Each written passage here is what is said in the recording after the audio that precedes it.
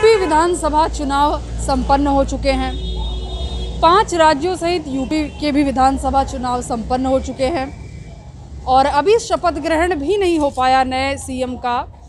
उसके बावजूद भी जो गैस सिलेंडर के दाम है, जो रसोई गैस है, उसमें पचास रुपये का इजाफा हो गया है, जिसने आम आदमी के बजट को बिगाड़ दिया है और इसका खासा प्रभाव देखने को मिल रहा है। तो ये पचास रुपये जो बढ़े हैं गैस सिलेंडर पर इस पर आइए जानते हैं गृहिणियों की राय आम जनता की राय। क्या नाम है मैम आपका? राम कुमारी। क्या कहना चाहिए गैस सिलेंडर के दाम बढ़ गए। गैस के दाम बढ़ गए हर एक की स्थिति इतनी नहीं है कि जो ले सके। लेकिन सरकार को सोचना चाहिए ये तो रेट सही देने चाहिए कि हर घर में ज़रूरत होती है गैस की। पचास रुपये बढ़े। पचास रुपये पचास रुपये क्या हमेशा बढ़ता ही तो है।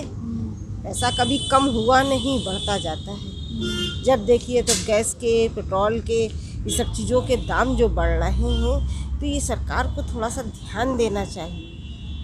सरकार कर क्या रही है? मैम, हम कमाने वाले एक हैं, खाने वाले चार हैं तो कहाँ से पहले सिलेंडर इतना सस्ता था, अब इतना महँगा हो गया है, हम लोग कहाँ से गैस भरवाएँगे? एक महीने भी नहीं चल पाता है सिलेंडर हम लोगों का। और बताओ हज़ार रुपए दाम हो गया गरीब इंसान कहाँ से भरवाएगा? फिर लकड़ी ढूंढेगा चूल्हा जलाएगा। अभी नई सरकार का शपथ ग्रहण भी नहीं हुआ और पचास रुपये बढ़ गए। पचास रुपए बढ़ गए। रिफाइंड वो इतना महँगा है। रिफाइंड भी महँगा है महँगाई तो बढ़ी रही है। गरीब इंसान की दिक्कत है। अमीर इंसान तो भाई हर कहीं से खा लेगा। गरीब इंसान कहाँ से खाएगा?